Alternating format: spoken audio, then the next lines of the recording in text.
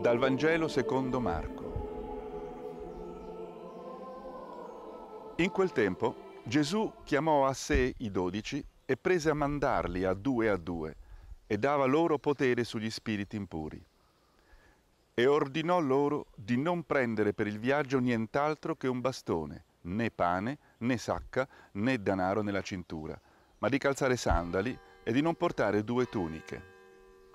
E diceva loro, Dovunque entriate in una casa, rimanetevi finché non sarete partiti di lì. Se in qualche luogo non vi accogliessero e non vi ascoltassero, andatevene e scuotete la polvere sotto i vostri piedi come testimonianza per loro. Ed essi, partiti, proclamarono che la gente si convertisse, scacciavano molti demoni, ungevano con olio molti infermi e li guarivano. Parola del Signore.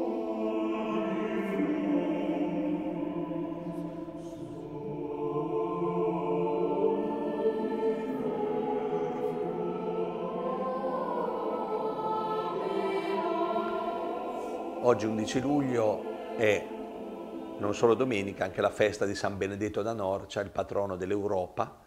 Chiediamo a San Benedetto, il maestro di tante generazioni di monaci, di aiutarci, di introdurci nella parola di Dio. E in questa parola oggi Gesù manda i suoi dodici a due a due a predicare a, e a combattere gli spiriti impuri, combattere il male. Li manda in missione e, è molto bella questa cosa perché il Vangelo di Marco soprattutto, ma anche gli altri, continuamente ci dicono che gli apostoli non avevano capito fino in fondo le parole di Gesù, eppure lui li manda, non sono, tra virgolette, preparati, formati pienamente, eppure li manda. La missione fa proprio parte dell'esperienza cristiana, dell'esperienza con Gesù. Se sei con Gesù, a un certo punto devi partire per la missione, diciamo così, non nel senso che chissà eh, devi andare in Africa o in Asia, se hai la vocazione magari anche, ma sicuramente il Signore ti manda con i tuoi limiti,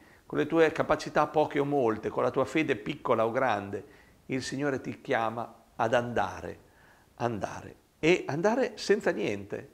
E ordino loro di non prendere per il viaggio niente, un bastone, né sacca, né pane, né denaro, eh, i sandali, ma neanche due tuniche per cambiare. Come dire, andate senza niente, solo con un bastone e con un amico.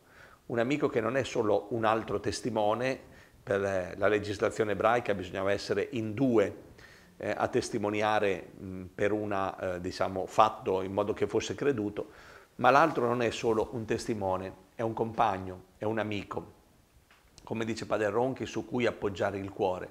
Un bastone per appoggiare il corpo, un amico per appoggiare il cuore. E così li manda poveri, senza mezzi, liberi, affidati alla provvidenza, entrate in una casa, se vi accolgono e se non vi accolgono, voi testimoniate e andate e proclamano e, scaccia, e proclamano il Vangelo e, e, scacciano i demoni, cioè lottano contro il male, ungono gli infermi, guariscono, il Signore dà il potere della guarigione.